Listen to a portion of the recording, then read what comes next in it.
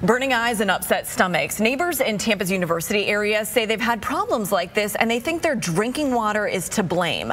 Community groups will meet with those neighbors to talk about the issue tonight. And ABC Action News reporter Chad Mills found out why that meeting could lead to a fix. In this Tampa neighborhood, community leaders say it's been a problem for years. They say dirty, potentially unsafe drinking water has plagued the university area. The water and the sewer problems in this community, like I said, we've been working on these for years. So while this isn't a surprise to us, um, you know, we certainly feel for these residents. Sarah Combs is the CEO of the University Area Community Development Corporation, a group that says neighbors have complained that the well water here has burned their eyes, given them infections, and even made them nauseous when showering. More recently, the group says some water has been diluted with sand.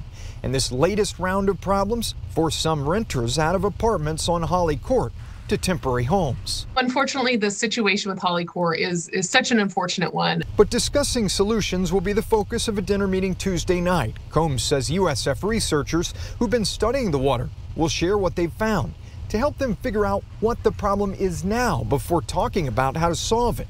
The good news to Combs, 5 million in federal stimulus funds from the American Rescue Plan will help fund a program that should help improve water quality here. We're looking at about um, a 3 square mile radius. Um, that's the that's the area that we're focusing on through this funding, through this sewer and water connection program. The free dinner and meeting start at 5 p.m. at the Harvest Hope Center on North 20th Street, and RSVP is recommended but not required.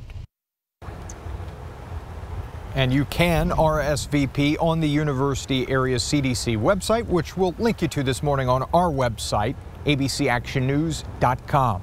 Live in Tampa, Chad Mills, ABC Action News.